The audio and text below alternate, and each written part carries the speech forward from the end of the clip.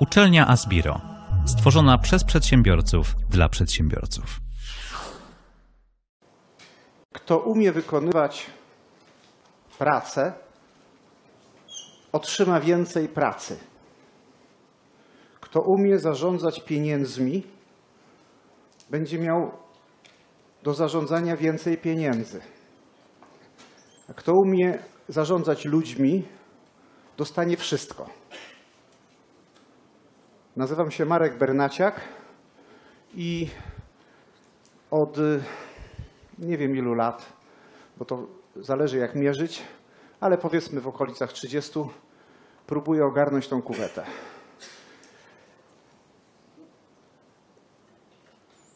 Sprowadza się to do prowadzenia firmy. Tak podobno tutaj mówicie o tym. Podsłuchałem wcześniejsze wykłady i wcześniejsze Asbiro TV. Ja postaram się dorzucić do tego może nie łyżkę dziegciu, ale przynajmniej za- zadać, zakwestionować kilka rzeczy. Najpierw chciałbym wy- wyjaśnić, to, że ja dzisiaj nie mam prezentacji, to jest zamierzone. Y, Teraz drugie pytanie. Jak ja nie mam prezentacji, to kto z Was ma kartkę i notuje? To ci, którzy nie mają, to niech pożyczą. Bo będę mówił pewne rzeczy, y, pewne dane będę mówił, a przynajmniej będę mówił tyta, tytuły książek i autorów i warto zaoszczędzić trochę czasu, bo jak nie zapiszecie teraz, będziecie musieli potem ten wykład przesłuchiwać, a to jest niepotrzebna strata czasu.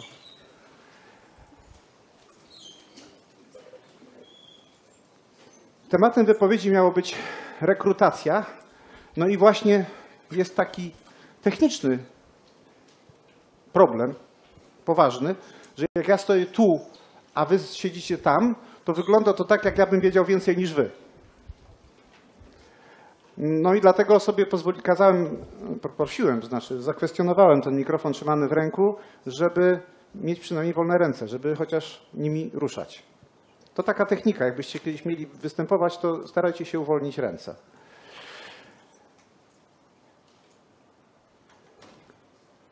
Kto z Państwa prowadzi działalność już? Ale tak podnieście te ręce, tak naprawdę. Kto prowadzi już działalność? Ok? Kto z Was ma w ogóle pracowników? A kto z Was ma więcej niż pięciu pracowników? A kto z Was ma więcej niż 20 pracowników?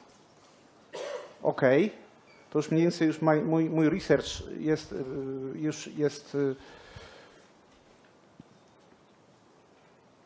zrobiony. I teraz jest następne pytanie. Jak oceniacie korelację pomiędzy tym, co robicie w trakcie rekrutacji, a jej skutkami? To znaczy, na ile oceniacie ją jako wysoką? Kto z Państwa ocenia, o, o, określa ją jako wysoką? A kto z Państwa ocenia ją jako średnią? A kto z ocenia z Was jako niską? Och, to 90% osób nie ma zdania. To jeszcze raz, ja potrzebuję naprawdę zrobić ten research. Na, na, y, możecie podnieść prawą lub lewą ręką. Nie ma znaczenia, ale podnieście. Kto z Was ocenia korelację pomiędzy Waszymi działaniami rekrutacyjnymi a jej efektami jako wysoką? A kto z Was ocenia jako niską? A kto z Was ocenia jako średnią? A kto z Was nie ma zdania? Mam wrażenie, że połowa nie ma zdania. Zobaczcie, to jest właśnie to. To jest właśnie to. Nie wiadomo. Nie wiadomo. Korelacja pomiędzy szefem i jego działaniami, a, dzia a sukcesem firmy oszacowywana jest jako 0,3. To znaczy generalnie jest kiepsko. Znaczy, krótko mówiąc, cokolwiek byście nie robili, to pójdzie albo dobrze, albo źle. I to w ogóle w dużej mierze nie zależy od was. To znaczy, możecie pewne rzeczy zrobić z przerażającą pewnością. Możecie przestać machać łapkami. Jest taka bajka, w wielu firmach się w wielu filmach i w książkach y, się pojawia, y, że dwie myszki wpadły do śmietany. Jedna y, szybko się poddała, bo stwierdziła, że za, za gładkie są te ścianki i ona ma tłuste łapki, więc nie da rady wyjść. Druga też nie miała pomysłu, jak wyjść. I już skracając tą historię, nad ranem wyszła z tego słoja, bo pływając przez całą noc ubiła w nim masło. Ale to masło nie było zaplanowane. I to tak jak my robimy czasami coś wprowadząc firmę, to my czasami ubijamy masło. Dlaczego? Bo machamy łapkami. A czy my wiemy, dlaczego ubiliśmy masło i w ogóle co się zdarzyło? Odpowiedź brzmi: jeśli nie wiemy, to sobie dorobimy. I teraz, jakbyście chcieli się uczyć więcej y, na temat rekrutacji, to ja proponuję takie trzy nazwiska. Kahneman, Taleb, Witkowski. Trzech obrazoburców. Nasim, Niko, Nassim Nicholas Taleb, to jest antykruchość, czarny łabędź i zwiedzeni przez losowość. Witkowski, zakazana psychologia, trzy grube tomy. Tomasz Witkowski, zakazana psychologia, są trzy grube woluminy. Fascynująca lektura. I Daniel Kahneman, Kahneman, Pułapki myślenia. Właściwie każde studia, a zwłaszcza studia z tak zwanych miękkich dziedzin, powinny zaczynać się od przeczytania tych pozycji. Dlatego, że większość tego, co się dzisiaj mówi i opowiada na temat relacji, psychologii, yy, zarządzania ludźmi i tak to ja po 30 latach prowadzenia bardzo małej firmy, ale to znaczy, że nie wiem, czy to jest dobrze, czy źle. Ja osobiście uważam, że to jest porażka, bo myślałem, że zbuduję korporację po 30 latach. Nie? A, ale z drugiej strony na tyle małej, że ja jeszcze znam wszystkich swoich ludzi i widzę, jak oni się rozwijają. Więc ja po tych latach stwierdzam, że większość tych teorii zarządzania to, to jest po prostu zwykła ściema i kłamstwo. I teraz nie będę tego krytykował, bo ja już wam dałem literaturę, więc możecie sobie poczytać. Oni, ci, ci autorzy zrobią to 30 tysięcy razy lepiej niż ja, ja nawet bym próbował to zrobić. Ale bądźcie ostrożni. Bo większość z tych rzeczy, które tutaj słyszycie, również ode mnie, od razu mówię, ja też mam taką cechę i wy też macie taką cechę, że sobie dorobimy teorię do jakiegokolwiek wydarzenia. Kamil Cybulski opowiadał kiedyś taką opowieść, że jak te lemingi spadały w przepaść, to tam jeden przeżył i potem stwierdził, że on się dlatego, że, że się skoncentrował, dlatego że, dlatego, że on patrzył w określoną sprawę, inny powiedział, że się modlił, prawda? No, to, to, to, to jemu się po prostu udało. I teraz chodzi o to, żeby sobie nie dorabiać ideologii do tego, co ideologią nie jest. Bo czasami po prostu pewne rzeczy są losowe. I rekrutacja też jest losowa.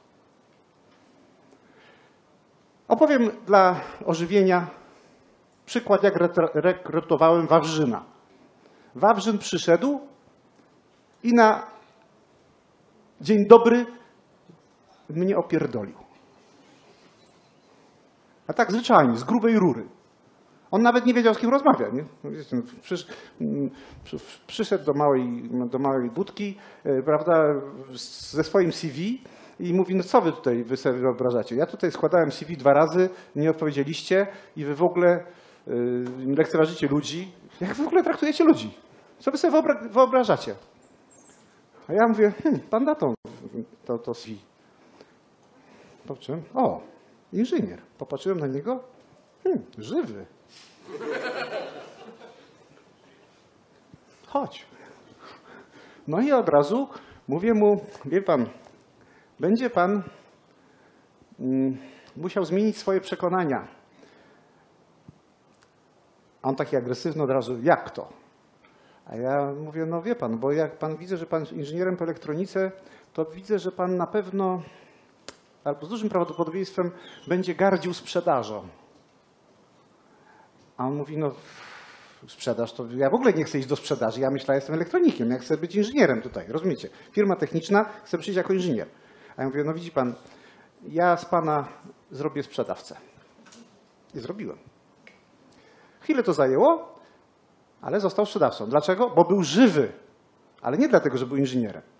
Ja uważam, że kryterium skończenia studiów jest stwierdzeniem pewnych elementarnych kompetencji. Znaczy, jeśli skończył studia techniczne, to jest taka szansa, że nie będzie uciekał przed kalkulatorem. A jak mu się da do przeczytania jakąś literaturę techniczną, na przykład instrukcję obsługi, to jest szansa, że to przeczyta. A jak przeczyta dwa albo trzy razy, to może nawet zrozumie. A jak będzie musiał to wytłumaczyć klientowi, to może nawet się nauczy. Istnieje takie prawdopodobieństwo. Niezerowe. No, a, jak, a a, co, a kiedy istnieje pewność? No istnieje tylko jedna pewność. No jak przestanę machać łapkami, to na pewno się nic nie wydarzy. Natomiast jak będę machał łapkami, to jest taka pewna szansa. Z drugiej strony, dokładnie w tym roku upłynął rok i trzy miesiące od zatrudnienia jednego z bardzo sympatycznych, najbardziej sympatycznych ludzi, jakich zatrudniłem. I nie wiedziałem, co z nim zrobić. Bo był fajny, sympatyczny. Tylko tak życia w nim nie było za dużo.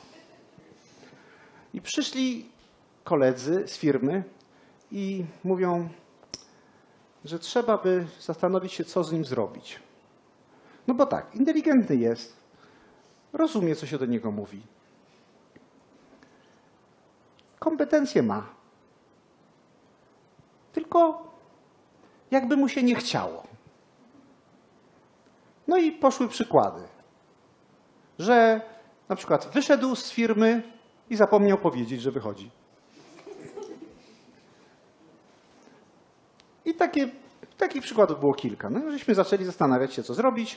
Odbyło szkolenie, odbyliśmy jakieś tam rozmowy korygujące, zgodnie ze wszystkimi najlepszymi modelami, a potem on poszedł na zwolnienie. To było jeszcze dwa miesiące, czy trzy miesiące przed tym, jak mu upływał termin. A potem po zwolnieniu poszedł na opiekę nad żoną. W międzyczasie jeszcze wziął sobie urlop, a przed urlopem ja się upewniłem u prawnika, że mogę mu dać wypowiedzenie, albo raczej nie przedłużać umowy, nie, nie, nie, nie dbając o jakieś specjalne zabiegi formalne. No i już tak zostało. Więc ja uważam, że życie to jest najważniejsza rzecz. Czy jemu też chce się machać łapkami? To jest podstawowa rzecz. Bo ja uważam, że są generalnie różne kategorie pracowników, bo tutaj mówimy o zatrudnianiu, o procedurach, na pewno to wielokrotnie słyszeliście. No po co są procedury? No po to, żeby ludzie w ogóle wiedzieli, co robić teraz. No bo przychodzi człowiek, skończył jedną robotę i mówi, co mam robić teraz?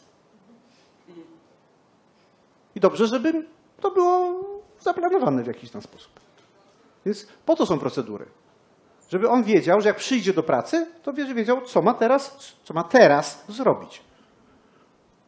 A jak nie wie, no to będzie się zastanawiał. A druga, po co jest procedura, to jest po to, i to zapamiętajcie sobie, bo to jest bardzo ważna rzecz, a tego nie ma w żadnej książce.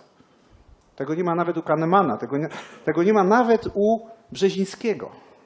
A Brzezińskiego gorąco polecam. Wy wszyscy moi ja Brzezińskiego.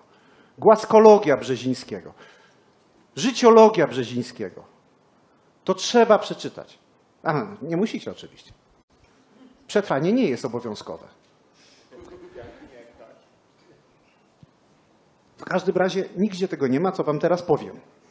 Otóż najważniejszym, czytajcie z moich ust, najważniejszym instrumentem motywacyjnym jest odbiór. Jeszcze raz. Jeśli chcecie z pracownika żeby zwolnić, albo chcecie, żeby sam odszedł, to wystarczy, że nie będziecie odbierać jego pracy. To znaczy, zlecicie mu pracę, a potem się w ogóle nie spytacie, czy on to zrobił. Potem znowu mu zlecicie jakąś pracę i znowu się nie spytacie, czy on to zrobił. Znacie zjawisko małego dziecka, które na przykład zbija coś, ściąga ze stołu, y, przewraca, zaczyna biegać w kółko i krzyczy, żeby zwrócić na siebie uwagę? To samo robią pracownicy. To znaczy, nie będę wam teraz opowiadał historii swojego życia i wszystkich uwarunkowań, bo nie chcę zbaczać z tematu, chociaż bardzo chętnie bym wam opowiedział. Nat- Natomiast dzisiaj już wiem, że w każdym z nas tutaj siedzi taki pięcioletni chłopczyk albo pięcioletnia dziewczynka, poraniona, pobita, po- pokiereszowana i zwróć na mnie uwagę, popatrz na mnie. Dobrze zrobiłem, dobrze pomalowałem, opieprz mnie chociaż. No więc rozumiecie, jak, jak pójdziecie do kogoś i powiecie mu chociaż, słuchaj, zobaczyłem, co żeś ostatnio narobił. No powiem ci, nie jestem pod wrażeniem. To można było zrobić lepiej. I nawet jeśli użyjecie najgorszego komunikatu, jaki tylko może być, czyli powiecie, prześlecie komunikat negatywny i ogólnikowy. Na przykład, to jest do dupy. To jest jeden z najgorszych komunikatów. Nie dlatego, że jest wulgarne słowo czteroliterowe w tym, tylko dlatego, że po prostu nie wiadomo o co chodzi. To jest po prostu nieprecyzyjne. Nie wiadomo, co jest źle. Natomiast jakbyście chcieli zrobić to y, lepiej, to wystarczy, że pójdziecie do pracownika, jakiegokolwiek, powiecie mu komunikat ten sam, czyli to jest do niczego, tylko w innych słowach. I to też mo- mogę wam sprzedać jedno kluczowe słowo, jeszcze. Słowem kluczowym jest jeszcze. Czyli pójdziecie do pracownika, powiecie, słuchaj, to można było zrobić jeszcze lepiej. Zwróćcie uwagę, że zupełnie nie ma żadnego znaczenia, z jakiego poziomu startujecie. To mogło być całkowicie zrąbane, to mogło być całkiem niezłe, to całkiem mogło być fantastyczne. Natomiast ważne jest to, że jak pójdziecie do niego i powiecie mu, słuchaj, to można było zrobić jeszcze lepiej w tym miejscu, w tym miejscu i w tym miejscu.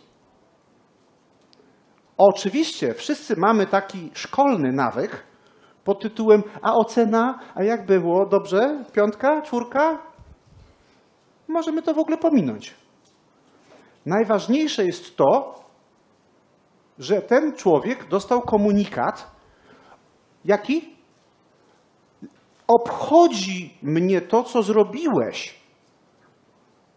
Interesuje mnie to, że to zrobiłeś. I w ogóle nie jest istotne, czy to zrobiłeś dobrze, czy źle. Ważne, że, można, że zrobiłeś to. To. I ja przyszedłem do ciebie, przeczytałem, zrobiłem, obejrzałem, patrzyłem na ciebie i mówię ci, co jeszcze można poprawić. A pytanie, co było źle? A kogo to obchodzi? Obchodzi was to? Chodzi o to, żeby ten człowiek wiedział, co ma, uwaga, tak jak było głośno teraz, teraz zrobić. No to właśnie, no to jeszcze możesz poprawić to. Teraz. Najlepiej wczoraj. Dlaczego to jest ważne? No bo jak wczoraj, to znaczy, że ważne. Bo jak powiem, nie wiesz kiedy, nie w ogóle nie jest istotne. Słuchajcie, ja takie rzeczy, to tak ładnie brzmi, jak ja tu stoję i tak, tak mówię, nie? To ładnie co. Myślicie, że ja tak robię? Nie. Oczywiście, że tego nie robię. Dlatego mamy odpowiednie procedury. Ja to nazywam roboczo sam dla siebie. Tego nie ma w naszych procedurach. To są tak zwane procesy retencji pracowników. Chodzi o to, żeby oni generalnie zwyczajnie nie położyli na to wszystko kartki. Jest już na, na tej kartce co innego jeszcze. I jeśli ja będę zwracał uwagę na to, co oni robią, albo przynajmniej poproszę kogoś, żeby ktoś zwrócił uwagę na to, co on robi, bo to nie musicie robić osobiście. Niech ktoś po prostu to odbierze. to wtedy mamy problem z rekrutacją rozwiązany. Dlaczego? Bo nie musimy szukać nowego pracownika. Prawda, że, że to tanio wychodzi. Dlatego, że najtaniej jest zatrzymać tego pracownika, który jest. Jakikolwiek by nie był. I to nawet moi pracownicy wiedzą, bo ja już nawet mówiłem, mam takiego jednego pracownika, który jest trudny. I tak nawet czasami sprawdzam, mówię, może trzeba byłoby go zwolnić. A Oni mówią, nie, nie, to damy coś innego. On to robi dobrze, to robi dobrze, tu go wyślemy, tu mu każemy zrobić. On niektóre rzeczy robi dobrze. Jak myślicie, dlaczego oni tak reagują? No bo im się po prostu nie chce szukać nowego pracownika. Bo wiedzą, ile to jest roboty.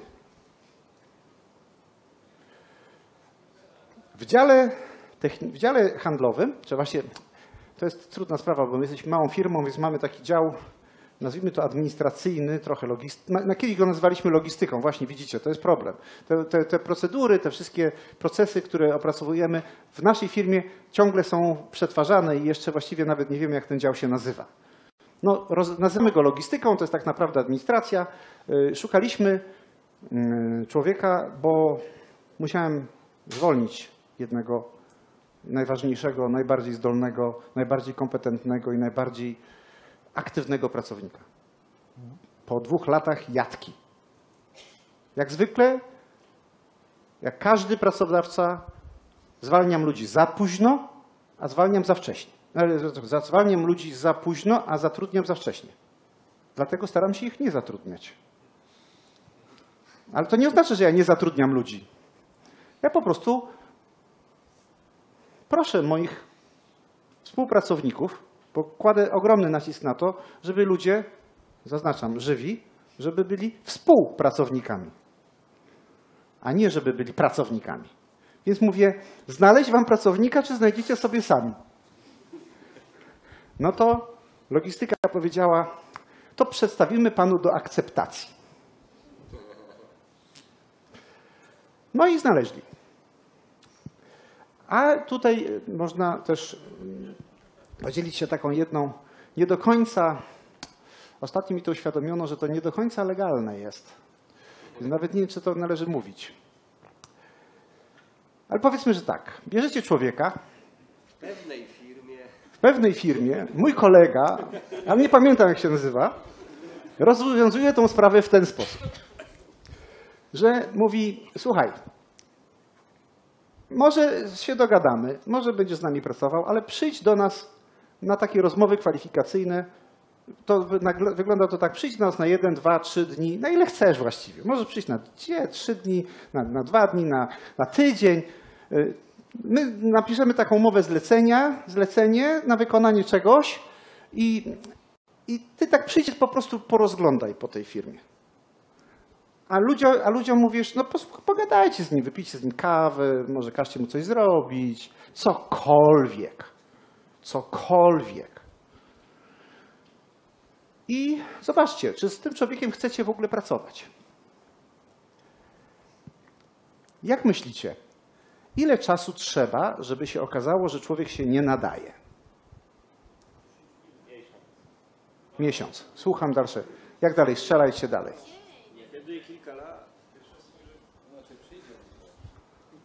Dobre, dobre, dobre. Czy przyjdzie? Ha, dobre. Tak, to jest dobre. Właśnie, czy w ogóle przyjdzie? Czy w ogóle jest zainteresowany, żeby w ogóle przyjść?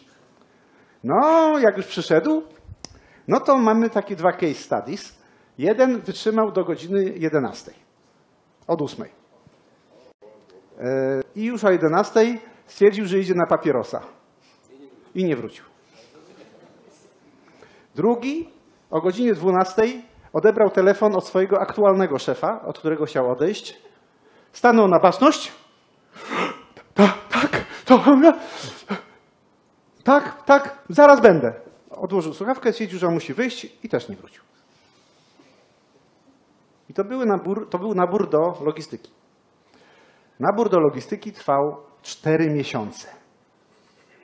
W końcu zgłosił się Arek i Został. Już tak z pięć lat. On zaakceptował logistykę, logistyka zaakceptowała jego. Ja właściwie nawet nie wiem, dlaczego został zatrudniony.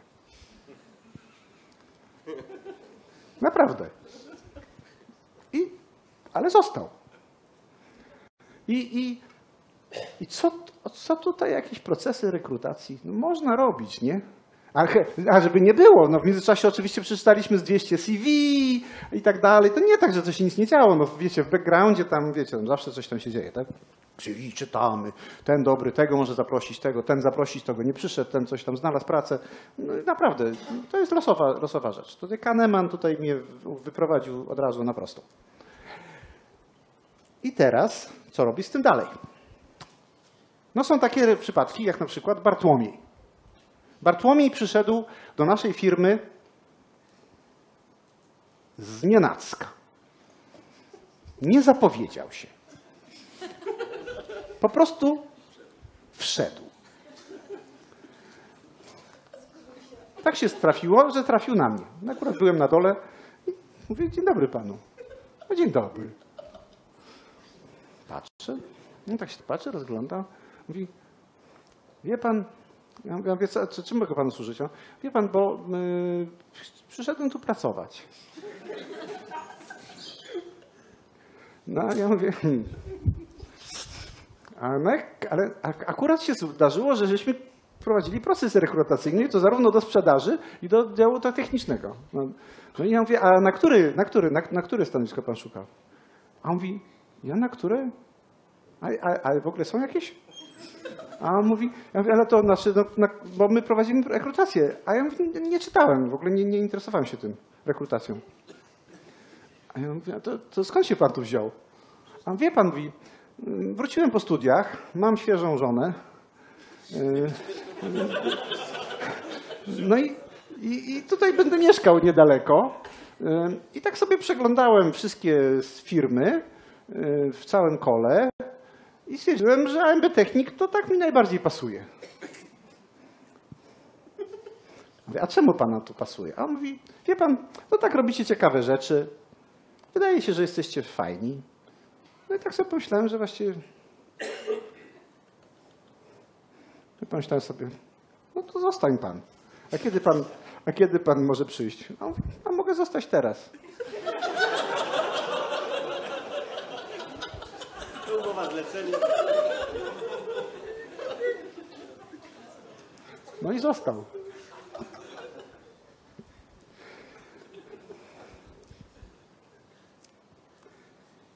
Kiedyś zatrudniłem panią,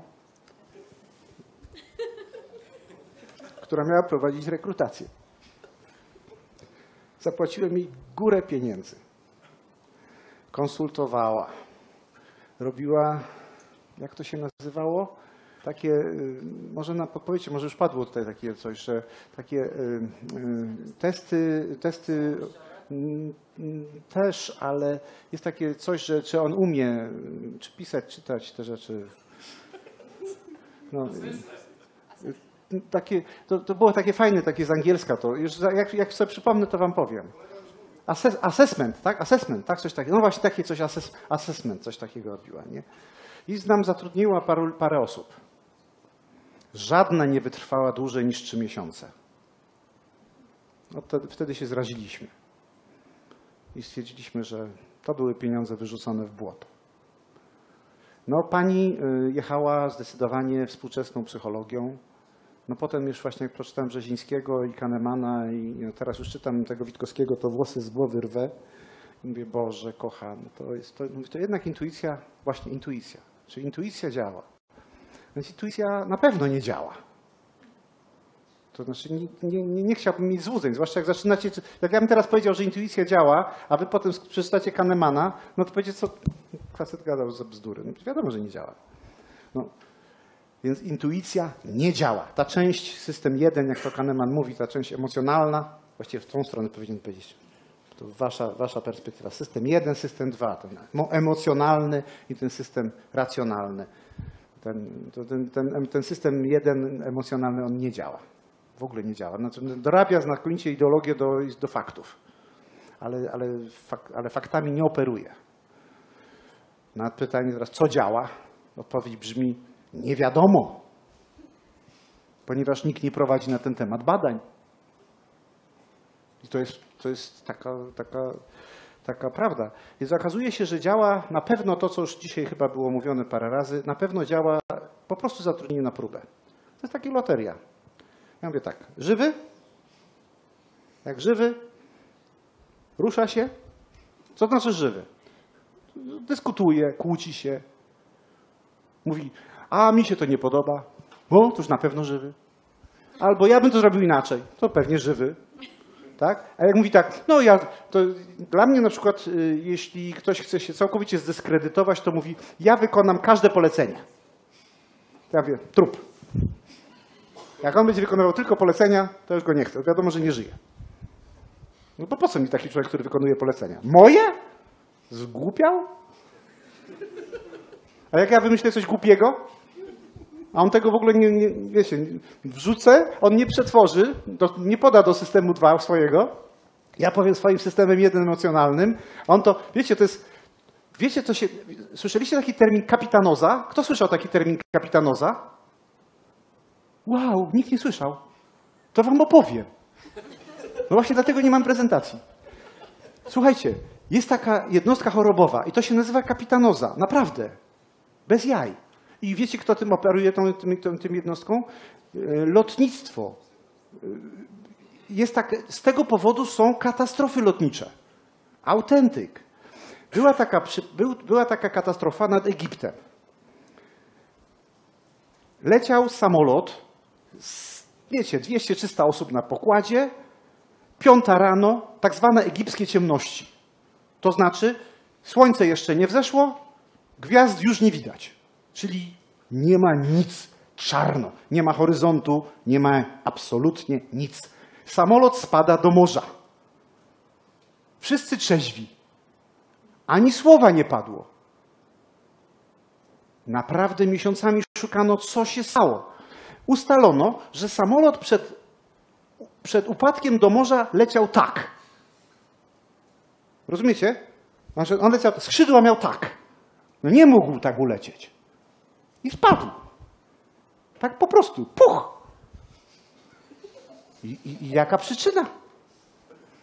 No i słuchajcie, okazało się, że przyczyna była wczoraj. No bo wiedzieli jedną rzecz. Jak przesłuchali te czarne skrzynki, wiadomo, że one są pomarańczowe, nie, ale są czarne, nazywają się czarne, to jak znaleźli te pomarańczowe czarne skrzynki, to wiadomo było jedno, że drugi pilot na pewno widział, co się dzieje. I nie zareagował ani słowem. Ani słowem. Co się okazało? Że dzień wcześniej drugi pilot lądował. I jak walnął w płytę, to nie wyszło mu za dobrze. No to tak trochę się zaczęsło. No i potem przyszła obsługa do samolotu, wiadomo, takie tam procedury po lądowaniu i tak dalej. To pierwszy pilot taką niewinną, sarkastyczną uwagę rzucił na temat tej, tego manewru lądowania, że tak nie wyszło za dobrze. Znaczy, on to, to było trochę bardziej złośliwe. Problem polegał na tym, że ten pierwszy pilot był emerytowanym generałem lotnictwa wojskowego Egiptu. To wyobraźcie sobie, co się stało. Jak się facet zaciął. Następnego dnia rano startował generał. To tamten drugi wolał zginąć, niż odezwać się. Po wielu miesiącach narad, ta jednostka, co tam się nazywa, nie wiem, to nie NASA, tylko tam ta IFA, AFA, czy jakaś tam się tam nazywa, zdefiniowała jednostkę. Kapitanoza, czyli wykonywanie poleceń bezrefleksyjnie. I słuchajcie, to działa. Cokolwiek nie walniecie, jakąkolwiek głupotę nie walniecie w firmie, to zawsze się zdarzy człowiek, który to wykona, co wy powiecie. Ja to wiem, bo ja to widzę. Na szczęście mam dwóch pracowników, którzy to rozumieją. Jednym jest moja żona. Drudzy, drugim jest taka, taka Edyta i to zresztą kończyła z biuro tutaj. I on, oni zawsze mówią, że mówią, no, to, to była tylko taka sugestia. To tak, pan Marek powiedział tylko tak, że to tylko pod rozwagę, że to nie ma polecenie służbowe. To, to tylko tak sobie rzucił i tak, żeby tak rozważyć, jak gdyby tak. No bo ja wiecie, mówię na przykład, słuchajcie, a może byśmy wzięli udział w targach y, na przykład jakiś tam, no albo słuchajcie, zobaczyłem świetną sprawę, trzeba by to kupić, nie? Słuchajcie, to jest naprawdę zajebiste urządzenie, to trzeba by mieć, taki mikroskop, wiecie, do zaglądania w dziurę, coś tam. Nie? A ja mówię, dobra, dobra, dobra, to no, rozumiem, to jest tylko taka, taka luźna sugestia, to nie, to, czy to jest polecenie służbowe? Ja mówię, a broń Boże. I no, słuchajcie, naprawdę wy- musiał, ile, ile, ile, ile lat upłynęło, kiedy ja dowiedziałem się, że ja frustruję ludzi. Bo oni te moje różne takie głupie uwagi traktują jak polecenia. Oni myślą, że ja serio to mówię. Ja, ja nie mam z kim pogadać i wy też nie macie. Jak prowadzicie firmy, to nie macie z kim pogadać, bo jeszcze was potraktują serio.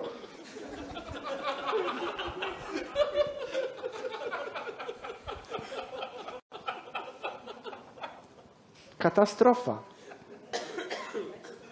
Katastrofa. Nie ma żartów. Na tarwa... Słuchajcie, to chodzicie po, chodzicie po polu minowym, nawet sobie z tego nie zdajecie sprawy. Wchodzicie do firmy, jak tu nie stracić pracownika? Myślicie, to co, to za, zacofanie? Jak tutaj nie stracić pracownika? Jak tu nie stracić pracownika? Hmm, poważna sprawa, cholera. A oni już mówią, Boże kochany, chyba bankrutujemy. Ja rzuciłem na przykład, ja rzuciłem taką, e, taką e, uwagę, że słuchajcie, może tak trzeba było tak przy, przykręcić, e, przykręcić śrubę, bo wiecie, ostatnio wydaliśmy sporo pieniędzy, bo tam dziesiątki tysięcy złotych poszły na jakieś takie zakupy y, urządzeń, narzędzi i innych takich rzeczy, to może byśmy tak uważali. Zwróćcie uwagę na to, co, co, co kupujemy, nie? A potem się dowiedziałem, że oni już zaczęli się zastanawiać, że może tańszy papier toaletowy kupić albo zrezygnować z kawy. Znaczy, znaczy teraz prze- przerysowałem. To nie było dokładnie tak, po prostu nie pamiętam jak było. Ale przyszli do mnie z jakąś tak, równie idiotyczną propozycją. Ja mówię, o Boże, kochany, to, to nie jest aż tak źle. Ja mówię, słuchajcie, naprawdę, to zwyczajnie chodzi o to, że wiecie, bo rząd tak wykombinował, że ja tak, już zapłaciłem VAT, zapłaciłem PIT, yy, yy, zapłaciłem dostawcy, a klient jeszcze mamy projekt otwarty u klienta i jeszcze, jeszcze, jeszcze nie wpłynęły pieniądze. Te pieniądze wpłynęły tam, nie wiem, za 8 miesięcy następnych, coś, bo się coś zrobiło, wiadomo, nie? Wiecie, trzeba mieć backup na fuck nie?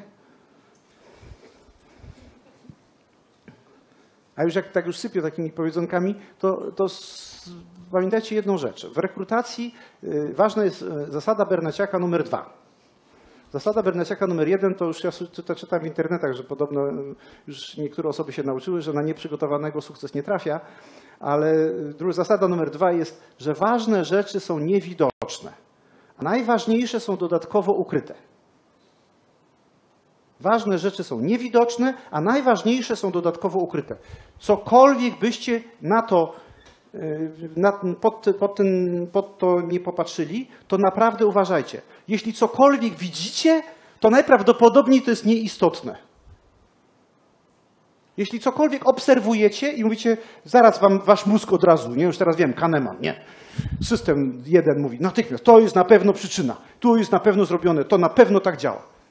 Odłóżcie to na bok, wiecie, spokojnie, nie będziemy na to w ogóle zwracali uwagę. To widać i nad tym się nie będziemy skupiać. Poszukamy tego, czego nie widać. Zastanówmy się, co jest pod spodem. I tutaj mogę z Wami się podzielić taką refleksją, że najprawdopodobniej najbardziej ukrytą rzeczą są ludzkie motywacje. Ludzkie, nienawidzę tego słowa, cele. Ale wykreślcie to. O, marzenia, o, dream. Takiego z angielskiego. Jaki ma dream? Bo te cele, to wiecie, to naprawdę wyrzućcie do kosza te wszystkie cele. A już zwłaszcza cele smart. Wyrzućcie do kosza. Cele smart to są takie. E, Dzisiaj miałem godzinę, mam wiecie, 35 minut 26 sekund, mam do końca prezentacji. To jest mój cel smart. Na pewno. To jest cel smart. Tyle ogarniam. Natomiast cel taki, co tam będziemy robili strategicznie w przyszłym roku, to Boże kochany, nie wiem. Pomacham, zo- zobaczymy, co się ubije. Natomiast, gdzie się urwałem? Aha, te niewidoczne rzeczy. No właśnie.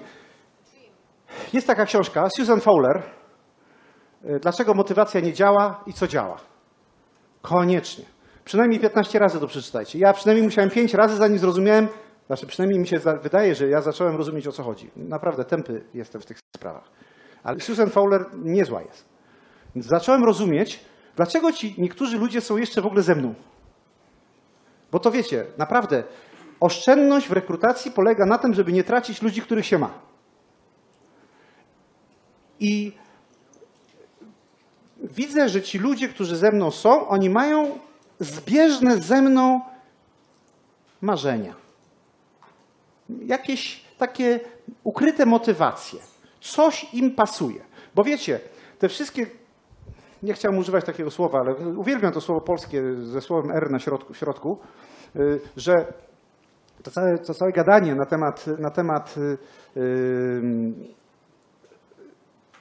na temat, y, nie wiem jak to powiedzieć,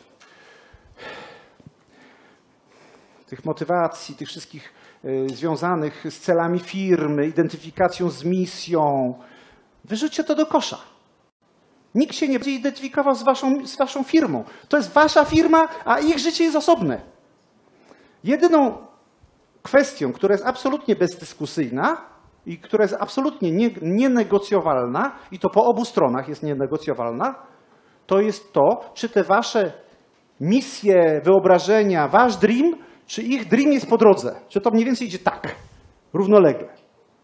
A może iść troszeczkę, jeden do góry, trochę do dołu. Tak, jeden, tak mniej więcej, żeby to było tak, asymptota była taka. Wiecie, pamiętacie jeszcze ze szkoły, co jest asymptota? Jak to jest, jak taki wykres zbi, schodzi do jakiejś prostej, tak, do jakiejś, jakiegoś, jakiejś, takiego, jakiejś funkcji, zbieżny jest. Jak, jak jest to zbieżne, mniej więcej, to już jest dobrze. Ważne, żeby nie było w przeciwną stronę. Ważne, żeby to w ogóle nie szło w, innych, w, inną, w ogóle totalnie w inną stronę. Bo jak, no bo wiecie, ja się mogę dogadać z antykatolikiem. Ja jestem zażartym, zajadłym, ortodoksyjnym katolem. I kocham Witkowskiego, który jest absolutnie antykatolem. I ja chciałbym z nim się napić. I pogadać sobie. No naprawdę, mam, on ma bardzo dużo zbieżnego ze mną i naprawdę jest nam po drodze. Mi to zupełnie nie przeszkadza, że on jedzie po kościele katolickim. Bo on w ogóle nie jedzie po tym kościele katolickim, w którym ja jestem. To razem siądziemy sobie, razem po nim pojedziemy. Bo to, bo ten, ten, ten, po którym on jedzie, to w ogóle nie istnieje.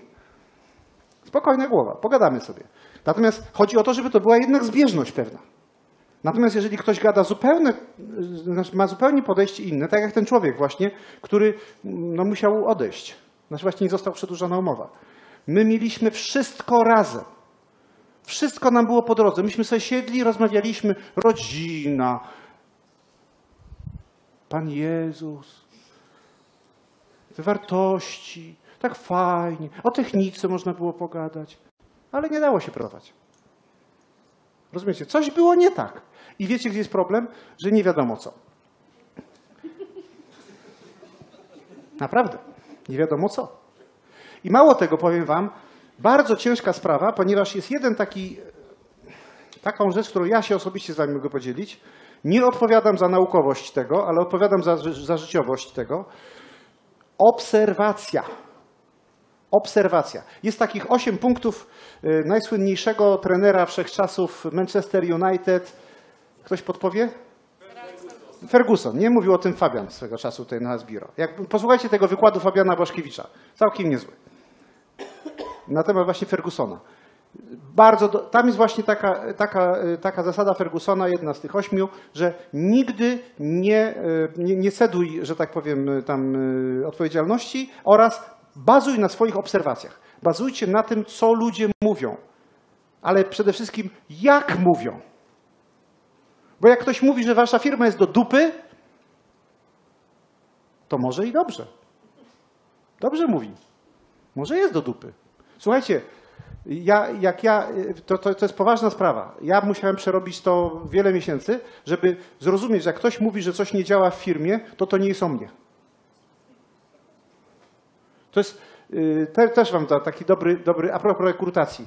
Y, Sztukasłuchania.pl jest taki gościu. Ja słucham, na razie jestem początkującym adeptem słuchania. Więc jakbyście chcieli ze mną porozmawiać, to lepiej nastawcie się, że ja będę mówił, bo jeszcze się nie nauczyłem słuchać. E, W każdym razie sztuka słuchania to jest ważna rzecz, żeby usłyszeć to, czego nie widać. Bo ludzie nie wiedzą, czego chcą. Najgorsza rzecz jest taka, że tak samo jak możecie potraktować jako zupełnie niewiarygodne to, co ja tutaj mówię, bo ważne jest to, co ja robię, a nie to, co ja mówię, to tak samo zupełnie deklaratywne są wasze działania. Wy też mówicie coś. I wasi pracownicy też coś mówią. Że to jest dla mnie ważne, wiecie, Bóg, honor, ojczyzna, albo równość, wolność, równość, braterstwo, albo coś tam innego. I Jak się dwaj szczubią, nie wiecie, ten Bóg, honor, ojczyzna, ten wolność, równość, braterstwo. Jak się szczubią. To. A potem się okazuje, że oni o tym samym mówią. Bo właśnie to dokładnie to samo mają na myśli. Ale czasami mówią to samo. Jakbyście posłuchali, na przykład taki jest podatki, zaraz, zaraz, zaraz. y, Jest w bibliotece Asbiro. Juvenel, Bernard Juvenel, y, po- podatki, kradzież czy kradzież czy e, sobie, przy- może sobie przypomnę. Nie przygotowałem się z tego obszaru. Jest taki, to jest socjalista. To jest socjalista, ale jak ja go czytam, to mówię, Boże kochany, to jest, to jest taki kapitalista, a jak czytam Ayn Rand, która była antykatoliczką, to ja mówię, Boże kochany, jak ona jest katoliczka. Ale jedzie po kościele, o Boże kochany, ale nie, w porządku kobieta. Zgadzamy się przynajmniej w dwóch trzecich z tym, co ona mówi. Więc to są tylko czasami y, y, rozbieżności pozorne. I tak samo macie z pracownikami. Jeżeli spotykacie się z kimś na, na, na rozmowie rekrutacyjnej, to jak, na, na czym polega największa porażka? Największa porażka polega na tym, że widzimy tylko to, co widać. Czyli słyszymy słowa, słyszymy deklaracje, oświadczenia, a nie wiemy te, to, czego nie widać. Dlatego tak ważne jest to, co robi mój kolega. Czyli umawia się z ludźmi na kilka dni, a po kilku godzinach już wiadomo. A czasami po kilku dniach wiadomo. Mam takiego osta- ostatni, na, następny case study, że mam takiego Roberta. Roberta odrzucaliśmy co najmniej cztery razy. Nie chcieliśmy z nim w ogóle rozmawiać. I była bardzo poważna ku temu przyczyna. Ponieważ Robert miał napisane w CV, że jest dyrektorem technicznym. Ja mówię, "Pff, będę sobie dyrektora technicznego brał. Przecież tu ja potrzebuję technika, nie? A nie jakiegoś dyrektora technicznego. No i w końcu jeden z naszych fachowców od IT mówi, słuchajcie, jest taki gościu, on już tutaj do was kilka razy składał podanie, weźcie go przesłuchajcie, to jest mój kolega, naprawdę równy gość. Patrzymy i mówimy, panie Mariuszu, a przecież to dyrektor. A on mówi, no ale posłuchajcie go. No dobra, no, no posłuchamy go. No, w porządku. Przychodzimy, przychodzi na rozmowę i mówi, no proszę pana, no jasno stawiam sprawę. No, wie pan, przeszkadza nam to. Pan jest dyrektorem i pan chce tu u nas pracować. My nie mamy tutaj żadnych dyrektorskich posad. No każdy chce robić karierę przecież, nie? A on tak popatrzył na nas. O Boże, kochany, ja nie wiedziałem, że, że, że to dla was takie ważne było. Dajcie, dajcie spokój z tym dyrektorem. No tak, mam napisaną taką wizytówkę dyrektor, ale wiecie, ja to jestem taki dyrektor odchodzenia po drabinie. No on mówi, "Ja- jak to? No, no wie pan, bo to nazywam się dyrektor, ale ja mam dwóch pracowników. Dwóch pracowników i ja muszę za nich wykonywać pracę, bo oni nie są kompetentni.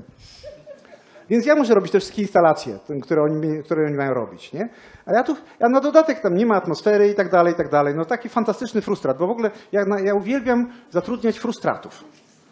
Jak ktoś jest sfrustrowany swoją dotychczasową pracą, to jest już moim pracownikiem, natychmiast. Przychodzi i robi to, co Robert.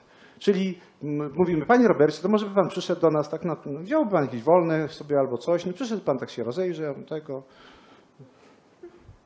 Mój kolega to nawet mówi, że podpisze jakąś umowę, tam albo nie podpisze, bo wiecie, on coś zapłaci. Albo nie. Ja mówię, no pan przyjdzie, zobaczy pan, czy pan w ogóle chce z nami pracować. Drugiego dnia Robert odwalił szopkę. Przyszła czternasta, a Robert siadł przy biurku, złapał się kom- przekomicznie prawda, z blatu i mówi, ja stąd nigdzie nie idę. No i został. I taka była rekrutacja. Wchodzi czasami do toalety? Proszę? Wychodzi czasami do toalety? Razem z Wow. Znaczy, to, to, to ja mogę, mogę długo off-topy robić, ja jestem specjalistą od off-topów, także... Ja miałem podobnie. Także, także, także, także, także, także okazało się, że to była blokada. Następny człowiek, którego zatrudniliśmy, też pracuje z nami bardzo długo, yy, miał fantastyczne papiery. Fantastyczne. Fachowiec wysokiej klasy, spawalnictwa. Ja mówię, Boże, spawacz do nas i to jeszcze inżynier? Nie, za dobry jest. Ale szukał roboty. 7 tysięcy płacą spawaczom na zawołanie. Odrzuciliśmy jego podanie też kilkakrotnie. Zadzwoniła Iwona. Iwona była naszą piastunką, naszą piastunką naszych dzieci. Znamy się od wielu, wielu lat.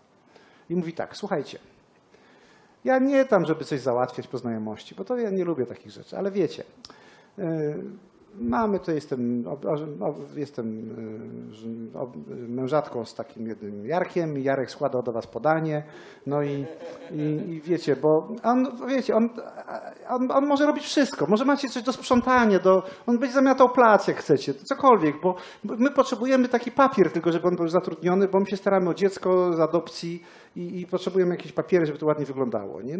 Jakby tak, a może byście go przesłuchali. No przychodzi Jarek, siedzi takie. Co pan umie? Nie wiem. Zna się pan na elektryce? Nie. Umie pan po angielsku? Nie. A zna się pan tam, na czymś nie pamiętam dokładnie? Też nie. No co pan może robić? No ja wszystko, co tylko takie proste czynności mogę robić tam coś tam. No dobrze. No i tak trzy dni już minęło. Trzeciego dnia go znajduję leżącego pod maszyną. Panie Jarku, co pan robi? A przyłączam tutaj zasilanie, bo, bo to nie było komu zrobić, to teraz podłączam. Nie? Ale papiery mam, nie? Ja mówię, jak to papiery pan ma? No tak, on tam tyle takie podłączenia, tam to, to, to prosta robota, nie? Za chwilę, za chwilę, za chwilę, za, za kilka dni później patrzę, pan Jarek siedzi przy komputerze i pisze maila. Po angielsku. Kali być, kali mieć, ale u nas tak jest, ja mówię, słuchajcie, angielski to nie jest język do podpisywania się swoją erudycją, tylko to jest tak, żebyś, najważniejsze, żebyś nie pomylił śruby z nakrętką. Natomiast poza tym możesz pisać jak chcesz. No więc on napisze. Ja, Jarek, mówię wam, wielki Manitu, że prawda, tutaj śruba się urwawszy i dlatego trzeba by ją wymieniwszy i tak dalej. No i, no i tam pisze tego, płodzi tego maila. Nie? Ja mówię, ale przecież pan powiedział, że pan nie umie angielskiego. Nie, no to ja nie umiem, no ale widzi pan, no jakoś to, to sobie trochę po trochę Googlem, trochę translatorem, trochę coś tu sobie poradzę. A to ja mówię, pomóc panu? Nie, nie, nie, to widzi pan, to prosta robota, to ja sobie wykonam. Nie? Po czterech miesiącach został szefem serwisu.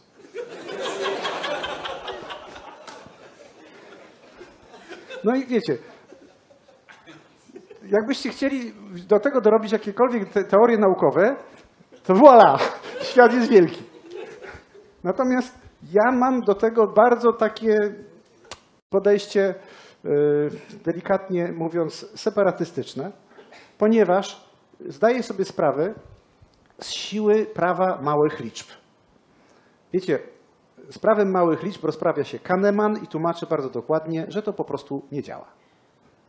Po prostu, krótko mówiąc, jak macie do zatrudnienia może 300, 400, 500 ludzi i robicie to rutynowo i zatrudniacie ludzi cały czas jako proces, to może jakieś reguły mniej lub więcej dają się opracować. Natomiast jak robicie to w takiej firmie jak moja, że to jest tak, firma specjalistyczna, zajmująca się bardzo wąskim rynkiem, gdzie każdy właściwie człowiek musi zostać przyuczony, to właściwie nie ma żadnego znaczenia. Jak jest żywy i chce mu się, to właściwie może być. Jedna rzecz, którą chciałbym się z wami podzielić. Po pierwsze, pamiętajcie o zasadzie Pareto. To jest święta zasada. I od razu zaznaczam takie moje ostatnie powiedzonko, że zasada Pareto generalnie w wersji 80 na 20 to jest dla mięczaków. To jest taki soft dla gawiedzi, poprawny politycznie. Prawdziwa zasada Pareto to tak jak mówi Tim Ferris. To jest podwójna zasada Pareto. Czyli bierzecie to ostatnie te 20% i jeszcze na nim robicie 80 na 20. I wtedy dopiero to jest prawdziwa zasada Pareto. Czyli macie 4% istotnych ludzi, a reszta to plankton. I tak jest w każdej dziedzinie. To nie ma żadnego znaczenia, yy, w jaką dziedzinę weźmiecie, bo tam, wiecie, 1% najbogatszych ludzi na świecie i tak dalej. Z tym się rozprawia znakomicie Jordan Peterson. Jak nie znacie tego nazwiska, to koniecznie poszukaj, poszukajcie w internetach. Jest książka z Petersona, tutaj chyba też dostępna, ale ja przesłuchałem chyba z 50 czy więcej godzin wykładów Petersona. Kocham faceta. Yy, On się rozprawia z, z takimi sprawami bardzo dobrze. Więc zasada Pareto na czym polega? Polega to na tym, że w każdej dziedzinie macie pewną, pewien obszar czynności fachowych i, pewną i pewien obszar czynności pomocniczych. I teraz najważniejsze jest to, żeby opisać czynności jakie? No które? Byście zabrali się do opisywania. Nie słyszę. Kto jest za pomocniczymi? A kto jest za fachowymi? No, na razie remis 80% się wstrzymało. No więc posłuchajcie, ja osobiście uważam, że należy opisywać czynności pomocnicze.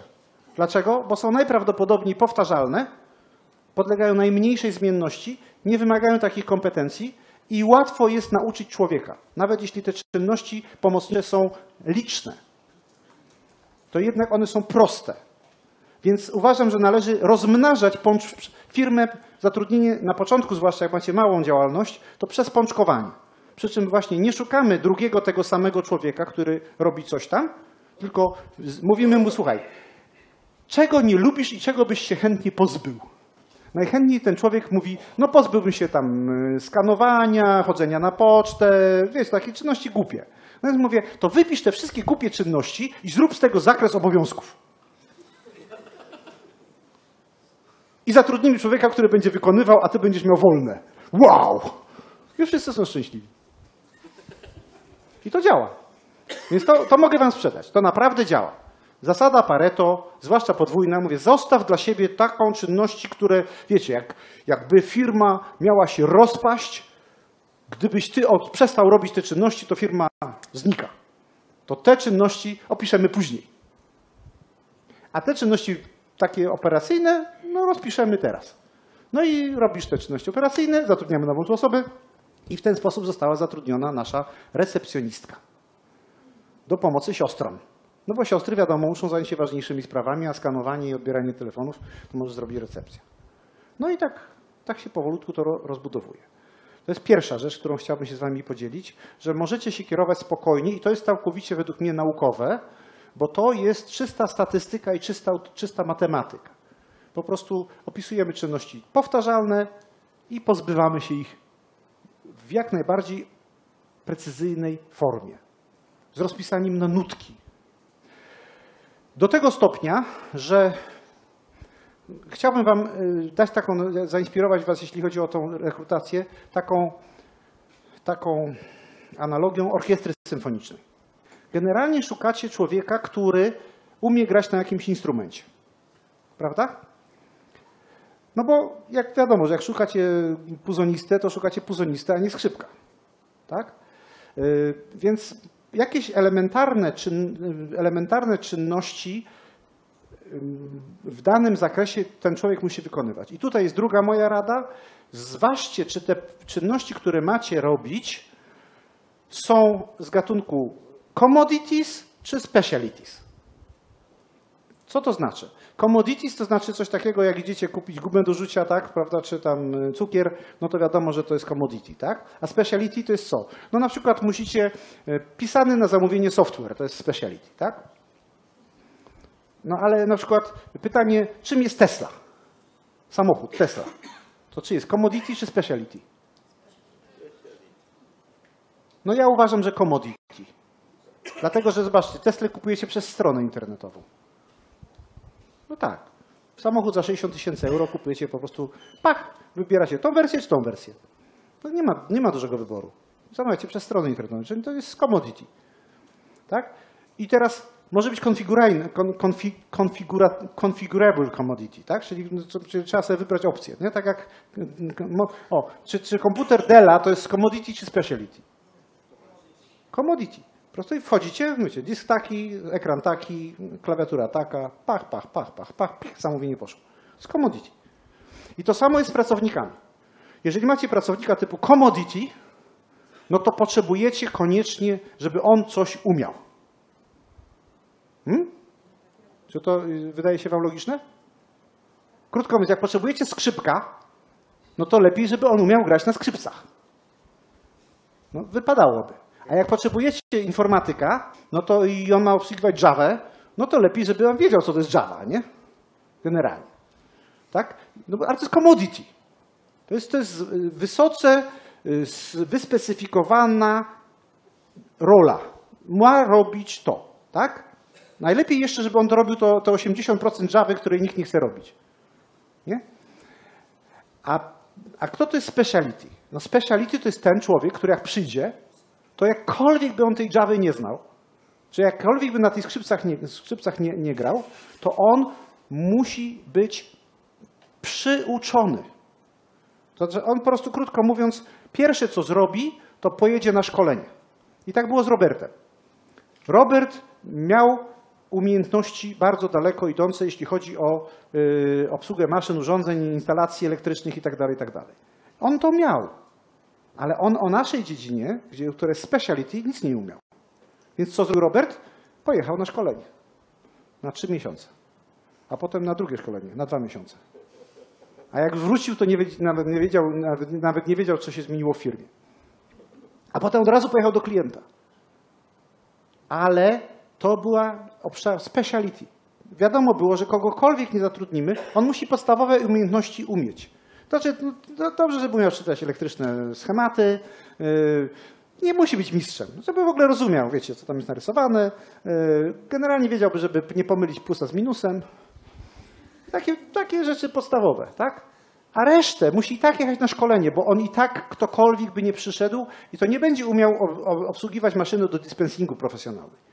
To trzeba zrozumieć, co jest dispensing, to trzeba wiedzieć, jak to się dozuje klej, wiedzieć, co jest reologia kleju, wiedzieć, co, jaki ma, jakie są systemy dozowania i tak tak dalej. To jest bardzo dużo wiedzy. I nie ma sensu nawet liczyć na to, że znajdziemy profesjonalistę na to. Natomiast jeżeli ja potrzebowałem człowieka od IT, no to co zrobiłem? Zatrudniłem sobie firmę od IT. No bo to wiadomo, co oni mają robić. To jest commodity. Prawda? A i tak trzeba było im powiedzieć, co chcemy my, bo to wcale nie jest też drugi, to jest drugi etap według mnie, co jest, jak, się- jak się będą ludzie rozwijali. Bo dla mnie najważniejszą rzeczą jest w rekrutacji to, że, że ludzie chcą się rozwijać, że chcą się naprawdę rozwijać, że chcą na przykład czytać. Mamy Ostatnio robiłem taki remanent, bo mamy specjalną aplikację nawet do wypożyczania książek w bibliotece firmowej. 30 osób firma. Mamy 1000 wolumenów. Woluminów. No to naprawdę trzeba, no mamy apkę do tego, żeby pobierać audiobooki, no, no, notebooki, tam e-booki, y, papierów mamy mnóstwo i tak dalej. To trzeba jakoś tym zarządzić, nie? No więc po prostu y, pytanie, czy, czy to są ludzie, którzy w ogóle będą chcieli tego słuchać. Wiecie, ja, żeby ich osaczyć, to kupuję wszystkie książki tak, w papierze, w e-booku i w audiobooku. A jak jest tylko w papierze, to skanujemy i wrzucamy na SharePointa, żeby można było poczytać na jakimś czytniku, chociaż, chociaż ten skan.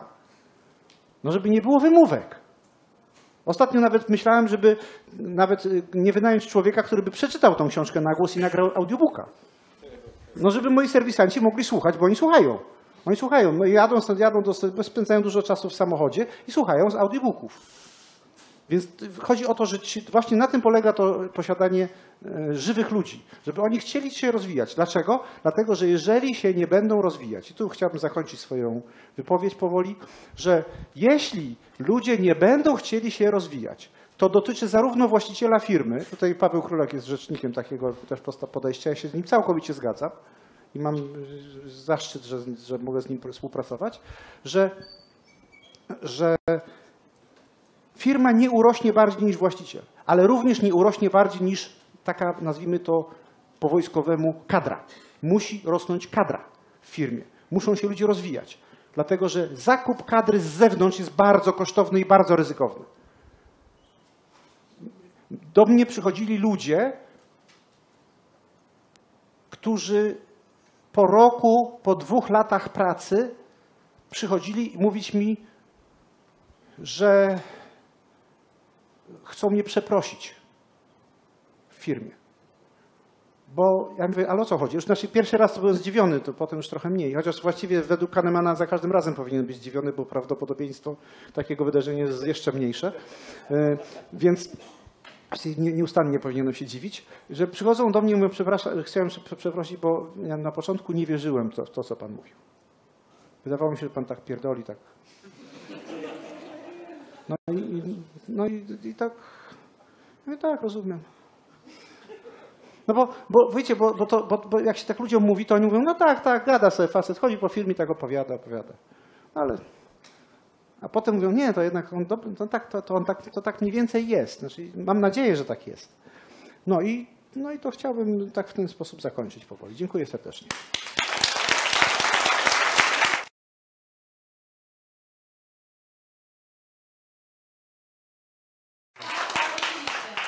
Specjalnie zakończyłem 10 minut przed czasem, żeby jeszcze pytania jakieś były. E, Pytania od Was. Ostatnie pytanie do Marka. Kto ma pytania? Czy wszyscy szokowani? No ja wiem, że zmęczeni jesteście. Albo, albo nie było wystarczająco kontrowersyjnie. Ilu zatrudniasz pracowników? To zależy jak liczyć.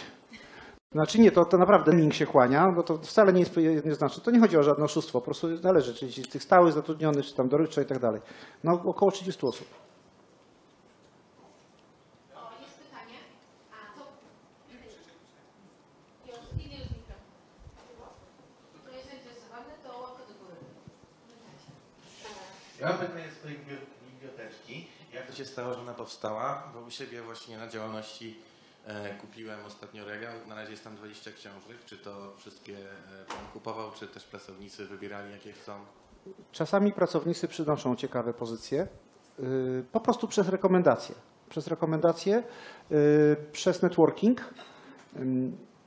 Myślę, że biblioteczkę mamy wzorcową, natomiast yy, tak, po prostu generalnie coś, co czytałem. Większość z tych rzeczy czytałem. To znaczy tysiąc wolumenów to nie znaczy, że tysiąc tytułów, bo niektóre tytuły są po kilka egzemplarzy. Także budujemy to. Na przykład takie książki jak na przykład Dobry szef, martwy szef, to są w ogóle niedostępne. Albo na przykład taka naprawdę świetna, no, świetna książka, Dobry szef, martwy szef, nie pamiętam tytułu, ale znaczy nie pamiętam autora, ale, ale do, do, to w ogóle nie można tego kupić. Albo, y, do, albo jest taka książka, którą bardzo trudno dostać, też ostatnio było w CLF-ie, to- to też mi, o właśnie tu w razie czego dziewczyny z CLF-u pomogły mi nawet znaleźć. Y, To jest książka e, Po drugie klient, Rosenblut. Rosenblut, Blut, tak? Rosenblut przez, y, po drugie klient. Świetna książka, ale niedos- niedostępna. Znaczy jak udało się kupić na Allegro i potem oczywiście skan wysokiej rozdzielczości na SharePointa i mam na czytniku. Na, y, na Remarkablu. Czytam. Jakie jeszcze pytania? Oglądałem wcześniejszy wykład, może sprzed roku, tak, chyba z 2017, może nawet sprzed dwóch. E, I mówiłeś tam e, na temat motywacji, jako że motywacja jest tylko i wyłącznie wewnątrz i można ją co najwyżej e, wyłączyć. Tak. Czy e, to stwierdzenie na temat tego, że jedyną motywacją i i jedynym sposobem zmotywowania pracownika jest odbiór, czy to jest pewna ewolucja poglądów? E, To jest nieścisłość. Dziękuję. Dziękuję za to pytanie. Y, To jest niepre- brak precyzji w mojej wypowiedzi. Y, Ja tak chlapnąłem. To jest raczej sposób, jak nie demotywować ludzi. Krótko mówiąc, jeśli ja nie będę odbierał, to ich po prostu zdemotywuję. Natomiast nie ma to nic wspólnego z motywacją.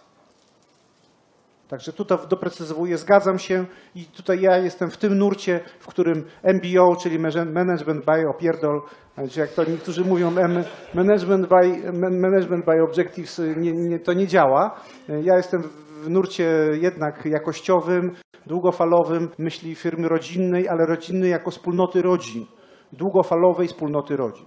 W ogóle uważam, że rodzina to wygra. Rodzina była założona jakieś tam 7 tysięcy lat temu, jako odkryta jako organizacja i myślę, że przetrwa. Mimo ataków lewactwa wszelkiego. E, Tutaj mam pytanie. Mm, Było tutaj. Było przedstawione właśnie kilka anegdot e, na temat e, zatrudniania, a czy miałeś właśnie też takie e, procesy wyspecjalizowane odnośnie zatrudniania? Czy, czy zawsze, zawsze to wyglądało tak humorystycznie, jak opowiadałeś? No właśnie powiedziałem to otwarcie, że procesy to mieliśmy i wszystkie padły. Wszystkie poległy. Nie mam dobrych doświadczeń z jakimikolwiek procesami. Po prostu metodą prób i błędów. Uważam, że jak jest dobrze przygotowany proces i dobrze przygotowana lista czynności powtarzalnych, które ma człowiek robić i wie, co ma robić teraz, to nieważne, kto to będzie robił, jeśli będzie żywy. Taka jest moja teza, którą chciałbym postawić. Mam, na, mam nadzieję, że dość kontrowersyjnie. Czy masz wiedzę, czy te książki, o których mówiłeś na początku, są dostępne w formie audiobooku? Na początku wykładu mówiłeś o kilku ciekawych... A tamte nie pamiętam. Tam, te- tamte chyba nie. Kahneman, nie, Taleb jest na pewno. Antykruchość Taleba y, jest na pewno w audiobooku. Y, Kilka książek jest w audiobooku, na pewno. Y, Taleby są w audiobooku, na pewno. To jeszcze pytanie. Kamil. No to ja się chciałem zapytać, bo jedna z twoich dziewczyn skończyła naszego MBA-a i czy nie bałeś się wysłać ją do, do nas, bo to wiesz, założy sobie firmę i, e, i odejdzie od ciebie. Y, No tak, to ja tylko mogę odpowiedzieć znaną już anegdotą, że jak rozmawiał CFO i CEO, tak, że CFO mówi, no jak tak szkolimy tych pracowników, szkolimy, we- inwestujemy w nich, a jak oni odejdą, a ten CEO mówi, no ale co będzie, jak oni, my ich nie wyszkolimy, a oni zostaną. No i, i, i ja tak uważam. Znaczy, do tej pory nie, odszedł, nie odeszła mi jeszcze żadna osoba szkolona.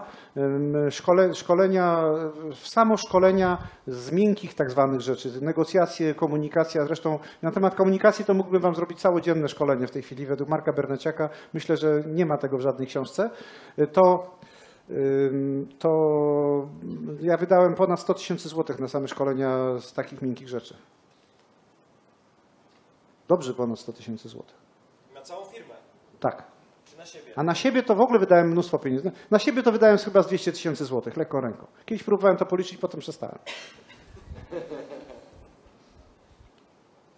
Coś jeszcze? Jakieś pytanie?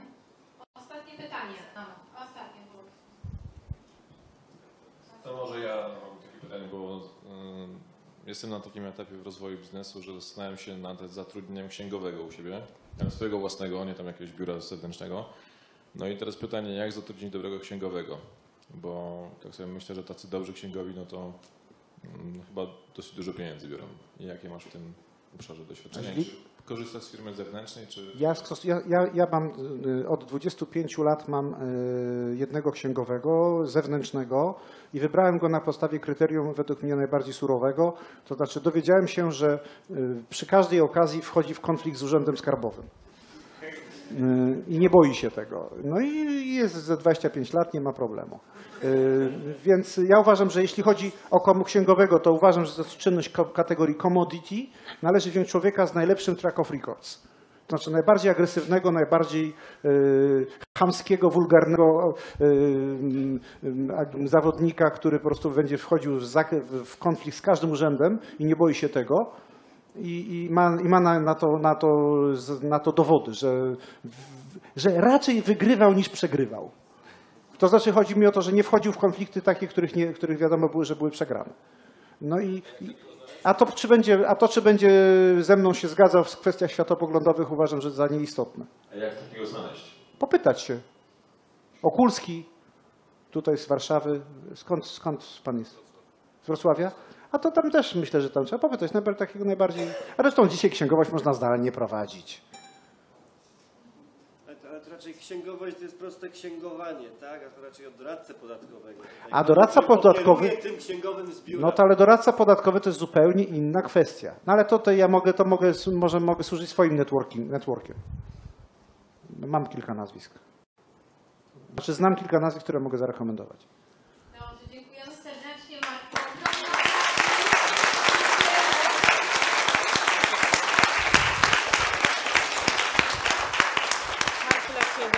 Dziękuję bardzo. Gratulacje.